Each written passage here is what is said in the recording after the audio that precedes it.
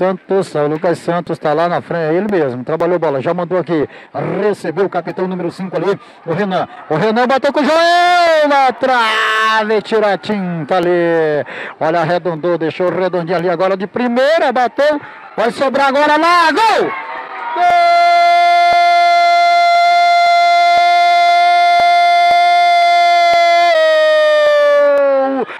Joel número 22! Joel 22! Joel 22!